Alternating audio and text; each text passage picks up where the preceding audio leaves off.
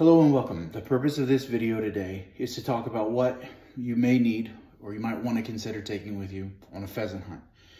The reason I'm making this is it stemmed a lot. I'm taking a lot of people for their first time. Got a lot of friends interested in pheasant hunting.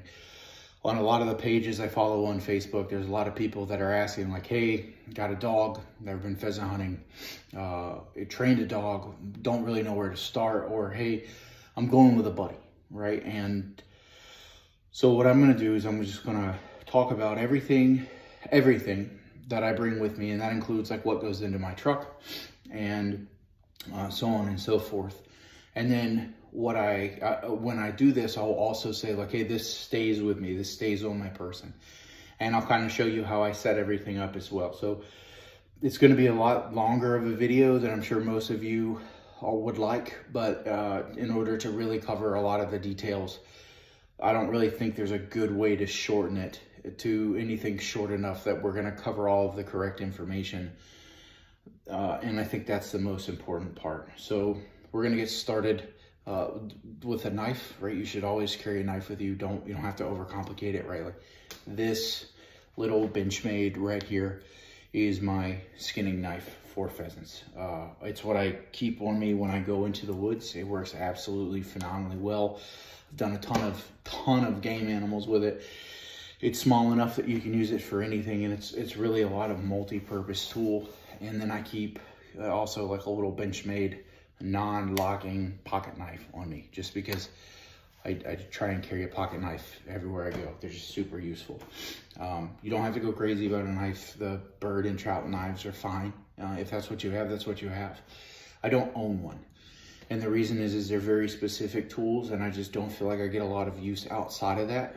Uh, a fillet knife, like if you've got a folding fillet knife or whatever, like those are great for cleaning birds or honestly just anything with a three to four, four and a half inch blade works absolutely phenomenal.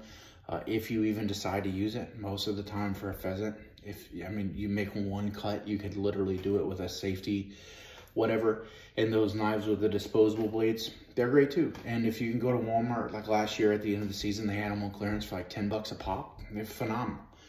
Uh, and they do what you need to do and then you throw the blade away. And if you don't hunt a lot or uh, if you hunt a whole, whole lot, they're really, really awesome because you don't spend a lot of time sharpening knives. You don't have to keep up with anything.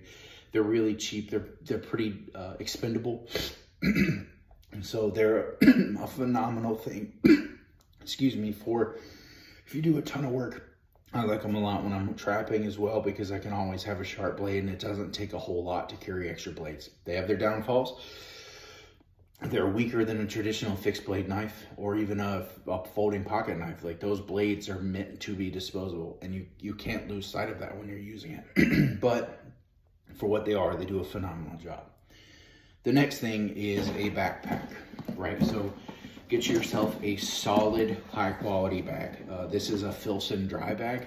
Um, it might be a little bit much for what most people need out in the woods. Um, for me, I I like Filson products a lot. Um, a lot of the stuff I'm gonna be talking about today is, excuse me, Filson brand. And uh, I, I, have a lot, I like their products a lot. Uh, I think they're well worth the money so long as you make sure that you get what you want because they're so, they're so expensive that it's not really worth not purchasing exactly what you want because you'll, you'll be upset and you'll be out a, a small fortune. So uh, this is a dry bag, so it's 100% waterproof. And for me, that's important because it's where I keep uh, all my dog stuff. Uh, again, this is an all-encompassing video, so I have a dog. I run a black lab, so you know, your what you need may change depending on what what species of dog that you run. So the first thing, uh, we'll just go ahead and start with the dog, is the bell, right? So I got this from like a local shop. Um, you can get any kind of a bell. Loud is good. Uh, they make uh, GPS collars. They're phenomenal. Where I hunt, uh, like I said, I hunt with a Flushing dog. So I hunt with him within 40 yards because they can't shoot any further than that. And he's going to put it up. So I don't need the electronic collar. I don't need a GPS. He's not going to go and point, you know, 400 yards away like some people out west. That's the other thing is I hunt in New England. So I like a bell. It's a little bit cheaper. This one was an expensive bell, but it's still cheaper than one of the collars. On his collar, um, I have a strobe light. So if we're gonna be hunting before sunrise, that strobe light's on there so I know exactly where he is. Uh, the other thing for the dog is uh, the doggy vest, right? So I have two. So this is one. Obviously, you can tell this one gets a ton of use. But the reason I have two is this one is very, very thick. It's a Carhartt, like with the duck material. And I put this on him whenever we're running anywhere where there's a lot of briars or there's a lot of brush that he's gonna be busting through. And it just offers him a little bit of protection and it allows me to see him a lot easier. And then that, that combines with the bell, it really makes a lot of difference. The other one is if we're hunting an open field or somewhere with less brush, uh, I've got one of these, right? One of the super, super high vis vests. This one's a little bit big, but uh, it's hard to miss him. The only downfall of this particular one is if you feel the material, it's not like it's the duck material. So they get damaged a lot quicker. They're about the same price, maybe a little bit more expensive, but they are brighter and they have the reflective stuff on it. So they're really, really easy to see the dog. As you can tell, this is brand new. And that's because you got to replace these about every year if your dog really gets in the brush and runs through a briar patch or whatever, but it's well worth it so that you can make sure that you can see your dog. Uh, one of the rules, so I do a lot of hunts where I give them away, uh, I guide people. So one of the rules that we follow or that I in place when we're hunting over my dog is uh, if you don't see sky behind the bird, you don't shoot, right? Uh, some dogs jump up at the bird. Mine will, absolutely he will. And it, it's just not worth the risk, right? So what we tell everybody is if you don't see sky behind the bird, don't shoot the bird. And again, this is for pheasants. This isn't for ducks. I get it. Duck is completely different. So the next thing that I wear is a blaze or an orange shirt, right? Blaze orange, orange, whatever you want to call it, an orange shirt. Uh, I also wear orange suspenders. And then I have an orange jacket, right? So this is Filson. This is a Filson oilskin. Like I said, I'm gonna talk a lot about them. I really like it. It's hard for brush and briars to go through. You put the Filson oil finish wax on them and they are all but waterproof. Um, I mean, they are awesome. Nothing goes through it. They repel water really well. They're well worth the money. Then we get down uh, to the bottom half, right? So a pair of blue jeans is just fine for pheasants. You don't have to go crazy. Make sure you get a sturdy belt. So like I wear a gun belt, like a Galco gun leather belt. I like leather. That's what I wear. If I don't wear that, I've got like a quick, quick detach riggers belt uh, or last chance belt, whatever you want to call them. And that's what I wear. What I wear over top of that is a set of Filson chaps, right? Like again, oil skin chaps. They're waterproof and they really stop the briars from poking into your legs a whole lot. Uh, then we get down to footwear. And it really depends on where I'm hunting, right? So if I'm hunting somewhere, uh, like let's say it's nice, it's flat-ish, I'm hunting fields, uh, I just wear regular hiking boots. If there's any kind of water on the ground or there's snow or whatever, muck boots um, and insulated ones. and just a quality shoe, right? You, if you spend a lot of time outdoors, you have this. This isn't something you have to go purchase you need to wear quality footwear when you're in the woods or you're just gonna regret it. Uh, so the next thing I have is uh, I, I'll, I try and bring spare vests, right? If you're hunting in a group, um, I've done it before too, where something happens and you don't have your normal blaze orange vest. So a spare vest uh, or two uh, or even three, depending on the group size that you hunt with, is uh, is very, very, very good to keep with you, right? Especially if you're in a state that has a blaze orange requirement, the last thing you want to do is blow a hunt because you don't have the, the proper amount of blaze orange. So now we're going to talk about, um, so this is the vest that I hunt in, right? It goes on top of everything. That's why it's absolutely ginormous, massive and is on the most open setting. And, uh, and this is one I really want to talk about, right? Because it's super useful. And if you're hunting with a dog, I keep a pair of these. Uh, these are just uh, snips, right? They're cable snips. They're very, very, very heavy duty, or I keep fencing pliers. And the reason for that is if you've ever been anywhere with a dog, they get into stuff. Specifically, if you're hunting somewhere where there's snares or is snaring is allowed, you don't want your dog to be able to get in that and you don't have any way. Now, a lot of these are quick release. Uh, it's required by law in most states. 100%. Go on YouTube, learn how to get a dog out of a quick release snare. Absolutely. It's very, very, very important that you do that because they have locking devices. I will 100% do everything I can to not have to cut somebody's snare. Um, and, I know how to get dogs out of it, but this is for just in case, right? Somebody hasn't done something proper, uh, or, you know, the dog is just not being calm. This is an emergency method, and it's one you should keep on you. I think these were 20 bucks at, uh, I think I got them at Tractor Supply. Uh, they're, they're, just crescent mini bolt cutters is what they're actually called, mini bolt cutters. And I've done it on quarter inch cable, five, uh, think about the biggest you can really get through is 5 16ths and it takes a lot of doing, a lot of doing, but you can.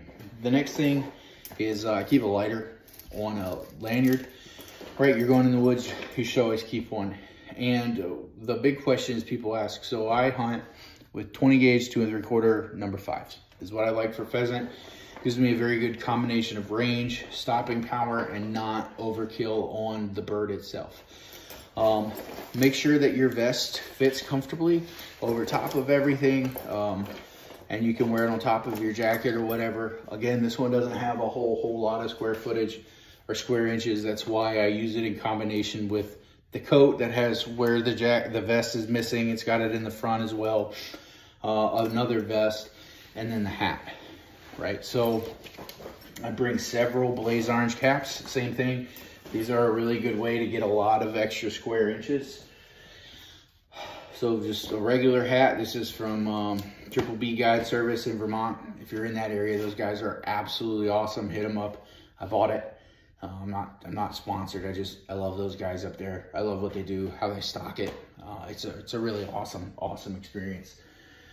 Then uh, beanie, blaze orange beanie, because um, you just, you don't really know the weather when you get out there. And now's where we kind of get into a lot of the obscure stuff that uh, a lot of people don't think about. So the first thing is, is uh, this is a collapsible or expandable, whatever words you want to use, water bowl for the dog. It's not super big, but it also is not super heavy and it doesn't take up a whole lot of space. It came uh, with a little carabiner on it. I connected two more because I like to have extra carabiners. And this literally just goes on the D-ring of my backpack. Uh, nothing super fancy, nothing super special. He drinks the same water I drink. Um, the next thing I bring is, this is uh, wound and skin care for animals, right? So you're, again, you're hunting with a dog. Inadvertently, they're gonna get bumps, bruises, scrapes, you name it, they're gonna get into it. Uh, I keep uh, ear cleansing pads in the bag as well. You can get these at, I, I literally think I got these at the base exchange. And you can get them at most pet stores. Uh, sometimes Tractor Supply will carry stuff like that, but that's important because they'll get burrs in their ears, they'll get whatever, and it's a really easy way for them to get infected. So at the end of the day, we put the dog up on the tailgate, we go over him. If there's any ticks, anything like that, we get him off. If there's anything in his ears, we clean his ears before he goes in the truck. We got you got to take care of the dog first. Uh, same thing. So antibacterial wet wipes also go in the bag. There's nothing special about these. These are just regular antibacterial wet wipes. But if you get an injury, you get a wound, it's a real easy way to clean it out. They don't add a whole lot of weight. They don't take up a whole lot of space. This stuff is worth its weight in gold. So this is Sawyer Permethrin spray for dogs. It's literally available at Walmart. That's where I got this. And uh, this stuff is phenomenal. So spray it on your dog. Uh, per instructions, I think it says do it once every two weeks or once every three weeks or whatever the case may be. And when you do that, I do it in combination with like NexGard and HeartGard. Um, not that the HeartGard matters, the NexGard. Um, And what it'll do is it really works well for keeping ticks and other bugs off the dog. If I use that the way it's supposed to, and he takes NexGard the way he's supposed to, ticks don't get on him. He doesn't bring him in the house. It's a lot easier at the tailgate. Uh, and I, when I say ticks don't get on him, I mean like until that stuff wears off, I don't pull ticks off the dog. We went for like a year and a half almost without him having a single tick. And it wasn't until hunting season was over, we were at home. I was like, well, I'm not gonna just keep spraying him because uh, I don't need to. And uh, sure enough, that's when he got a tick, was like uh, five or six days after the, I was supposed to spray him again is when he got his ticks. So, and he doesn't get that many, but, and they don't latch on, but with like the, the NexGard or whatever, they'll, they'll still get on the dog. They might not latch, but they'll get on it. And he was carrying them into the house. And I just found them when I was petting him. Um, this stuff, they, they just don't get on the dog. So, uh, the next thing, again, back to the, the care, um, use Bactine spray, uh, just pain relieving cleansing spray. Keep that in there. It's for me, it's for the dog, it's for whatever. Uh, dump this little bag out. So a multi-tool, that goes on a D-ring on the backpack as well. One that's pretty easily accessible. They're just handy to have. They're really important to keep with you. You never know when you're gonna need it. Doggy aspirin, right? Again, you take care of the dog. Um, it helps a lot, especially like if you see the dog slowing down, he, he ends up spraining his paw. just, I keep that stuff in there for him. Uh, this is the super, super sour uh, doggy. It's a pet bandage, right? You can get it. I think I got this at PetSmart or Petco or whatever. Tastes absolutely horrible. If they get an injury, I've got all the stuff to clean it and then wrap it. Uh, and then they won't mess with it because of how bitter this stuff is. It's great. It's also not super expensive.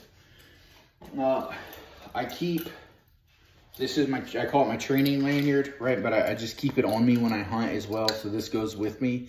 It's got a whistle, it's got a clicker, and it's got a treat bag. Uh, the, by the way, the treats are just doggy kibble. Um, they respond really well to that. You don't have to go super crazy. It's just doggy kibble. Uh, so this is liquid bandage. Um, again, I know it seems like I'm excessive, but I do everything I can. I take this stuff with me to take care of the dog. And so like, I'll clean it really well. I'll, I'll, disinfect it. I'll spray it with the wound care stuff and then I'll spray it with the liquid bandage and then I'll wrap it in an actual bandage if it's bad enough. Um, if it's not, it gets cleaned and then it gets sprayed with liquid bandage and we go right back to hunting. A lot of the times it's just little nicks or scratches or whatever and, and they're able to do that. Sometimes you've got to be prepared. Um, the next thing Again, this is brand new, right? It's like some of this stuff you got to replace. It's just the Sport Dog uh, green location light. So it just flashes. That, that's all it does. It lets you know where the dog's at. Um, this one's new. I had to replace my other one. Uh, and I just leave it in the case until I go to use it because it's got a little carabiner on the back. It's got a battery and uh, I don't want to lose that stuff. And I don't want the contacts to go bad before season. If you buy most of this stuff after season, you'll save a little bit of money.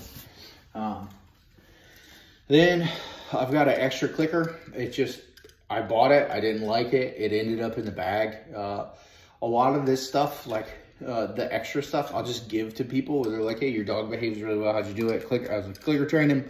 I actually have an extra clicker. Here you go. So I'm really just waiting on somebody to be like, hey, I'm looking for this, or where'd you get it, so that I can just give it to them. Because um, I, they, the reason I don't like it is I don't like the sound. I like the cheaper one. I thought I liked the more expensive one. I didn't. Um, and then there's just a bumper, right? So if the hunting's not any good, uh, the dog's a dog. So uh, I always keep a bumper in the bag so that we can practice retrieves. We can throw it, we can do whatever. You're, you still got a dog and he's gonna act like a dog. So stuff like this is, is really nice. That way the dog can actually have some satisfaction at the end of the day if you're not lucky enough to harvest your, your animals, which happens, right? It's hunting, not shooting. Um, and then uh, we'll, I like a modified barrel. Uh, I'm not going to show a shotgun on here. Don't really have any need to. Don't really have any reason to. But I uh, I really like to shoot a modified barrel. Uh, again, that's with two and three quarter number fives out of a 20 gauge. That is my preferred pheasant setup. If I'm shooting something with a single barrel, if I'm shooting a, a double barrel, I, uh, I shoot modified over improved cylinder and I shoot the improved cylinder barrel first and the modified barrel second. Again, I've got a flushing dog, so a lot of my shots are between 30 and 45 yards, sometimes farther. Um, and uh, like, like I said, I, I use number fives it, as a general rule of thumb. Now that changes. Like if I know some of the places we hunt, I know I can make a 60 yard shot through a field. It just, it happens. The dog gets too far away. He puts a bird out there at 60 yards. I'm the only one in a 200 acre field. Uh, I use 12 gauge two and three quarter number fours when I hunt that particular field because it, it does really well at carrying. It has a lot of ability to knock them down. We hunt some other places that are a lot thicker and the dog is, I run him closer. And then I'll shoot a 20 gauge. Usually for that, I, I really like an improved cylinder, 20 gauge improved cylinder uh, with like a number six um, for those closer shots so that you don't tear up the meat as bad. But anyway, I really appreciate you guys tuning in. I hope you get, I hope everybody got something out of this. Um, it's it, it seems like it's a lot to really get started with. Uh, but after you get it, if you buy quality stuff, like I've been using the same vest for forever and it was used, right? I got it offline. I don't know if you saw it, but it was like a North Dakota Invitational pheasant hunt. Uh, I found it used. It's still a Filson vest. It was what I was looking for. The only thing I wanted that it didn't have was I wanted the one with the blaze orange straps. But uh, I got it for a heck of a deal because like I don't I guess nobody wanted it. And uh, and so I, I just I absolutely jumped all over it when I found it. I got the Filson chaps used as well. I got the jacket used. Um, I mean, I don't buy a whole lot of stuff new just because of the price. Uh, and, and uh, I don't, you don't have to, right? Um, there's enough forums now and there's enough going on and, and, the internet is big enough and popular enough. People, people sell stuff um, that are much older now. So you don't have to like peruse, you know, Craigslist and wait for 15 years. You know, as long as you're patient and you know exactly what you're looking for, you can find most of this stuff in four, five, or six months. Um, I know that doesn't really help you right now, but at the beginning of the season, you're, you're honestly, your best bet would be to go uh, and just be like, okay, hey, um, uh, I need uh, like, what what what is what is your goal, right? Like, you want your legs to not get stuck. Cool. You need a either a double fronted pair of pants, like a pair of brush pants, Dan's dog hunting supply, or just Dan's, are great briar proof. Anything and everything. They're awesome and uh, they're, they, they won't break your bank. You can get Gamehide as well. Like I'm pretty sure Cabela's carries that and uh, it's, it's relatively inexpensive. Your jackets, all that kind of stuff, dude, get that at the clearance rack, right? Like Walmart camo, if you're pheasant hunting, dude, I don't even wear camo. Um, your blaze orange, you just, it just needs to be there. You don't have to spend money on the Gucci brands. Uh, I just, I have a preference.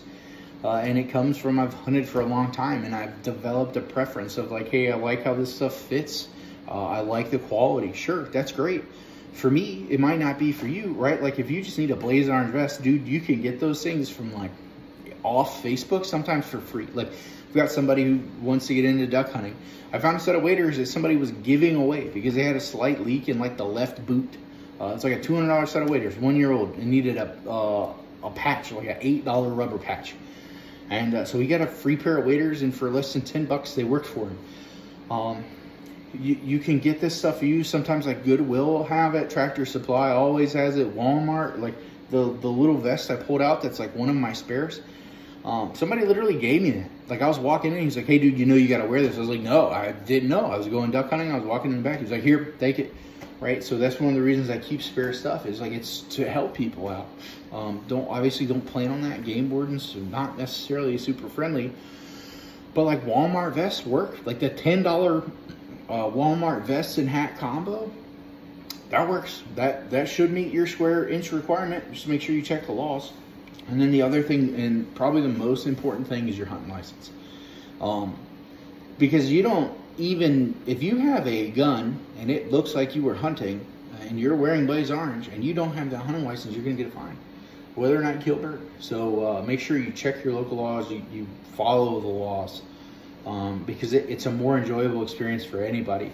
And the reason I wear so gosh darn much blaze orange is there's a lot of people out there that are just not safe. They're not ethical. And uh, I just don't want there to even be a chance that I get hit. Uh, because I've, you know, I've been peppered before, not like hit hard. You know, it was from a long way away and it's not pleasant. It does. It's not horrible, but it's definitely not a pleasant experience. And then you get people that are closer, and like I've got buddies that hunt up here, and uh, and like they've had to duck because they saw somebody swinging on a bird that was flying back towards them, and they like jumped on the ground. Um, and so it's, it's just one of those things where you really, really got to pay attention. You really got to be careful, and like just because like for instance, some places have like you have to wear 100 square inches of blaze orange, which is like literally a hat? Like a, a, hat, a lot of hats are 100 square inches of blaze. And uh, it's like, you know, you, that's just, it's not enough to me. And uh, you know, your upland bird hunting, it's, it is not like your duck hunting or your goose hunting or you care about how much blaze orange you're wearing. Um, the more, the better right? Like you don't want to get shot, you don't want to get hit. That's the whole point. So just make sure that you know you're being smart and you're not just trying to put checks in boxes, right? You're you're trying to be safe, you're trying to be ethical. The other thing is like uh, opening day Saturday, so uh, hopefully you can tune back in Saturday evening.